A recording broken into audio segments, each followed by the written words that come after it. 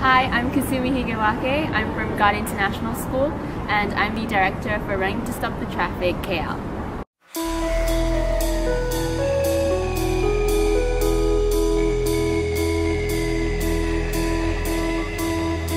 Our vision is a world free from modern day slavery and human trafficking.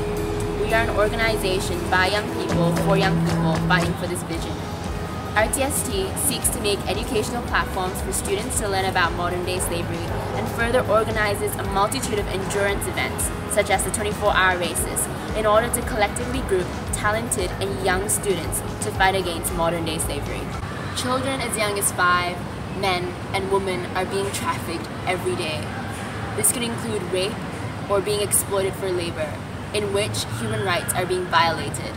The 24-hour races are driven entirely by the spirit, energy, and dedication of students. Groups of students form teams and run a continuous relay for 24 hours. They are sponsored for every lap they run, raising funds and awareness to benefit anti-slavery charities. From its humble beginnings, the race has grown from a fundraising event to address slavery to an event which empowers young people to feel they can truly make a difference. The first race started in 2010 in Hong Kong before expanding by demand to Singapore with a 12-hour race. This year, the 12-hour race is becoming 24, and Kuala Lumpur will host its own 24-hour race. These races are a reflection of a wider movement of students coming together to address problems of slavery. When the moment comes, you'll say,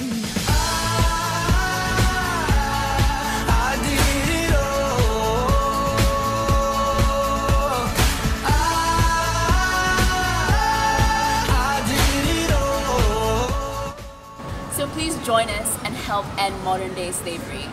You can do this by downloading the Run for Freedom RTST app on the Google Play Store. And for every person that takes the quiz and shares it via social media, Frog Asia will be donating one ringgit to us. You can also contact us through KL at 24hourrace.org and also read about us at www.24hourrace.org. We are from SMK SBS.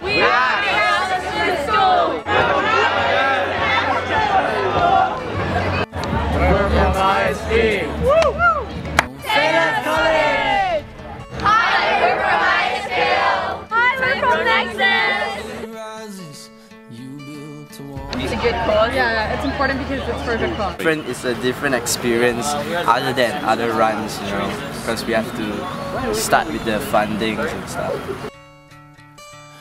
Hope if every I think it's important to recognise that there are there are other people out there who aren't as aren't as uh, well off as you. Yeah. So you you know you need to respect that. I think a race like this. I mean, this. I mean, everyone around here is privileged. yeah, I mean, exactly. tell that. And I, I, I think yeah, exactly. And I think that there are people out there in this world who don't have the luxuries that we do. And I think this this race helps us recognise that and raise awareness for that. And I think that's key in a world like this. you don't suffer, but We've learned that it can be really stressful, but it takes a lot of organization, and even when you put a lot of time into it, it may not always turn out. But it was fun very That was that was amazing. It's been a journey. It's been great, and it's good to know that we're actually finally here.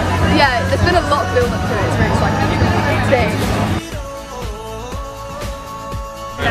Perseverance, considering it goes on for 24 hours, and working as a team, collaborating. I feel like our team is definitely going to learn learn more about our teamwork and also definitely more about human trafficking and what kind of situation the people who are getting suffered are facing. Be committed because we'll be like rotating our shifts for like 24 hours, it's gonna be tiring, we won't get much sleep, but hopefully we can all persevere through together, work together and make this event a success is the run and the uh, entertainment at night, which is the paper plane pursuit. Socializing a bit with the other colleges and international. Well, for me, maybe just the experience. It's really cool actually being here, like all the other schools all working together, going around, um, and it's not big courses, but also yeah, that I'm Oh Yeah.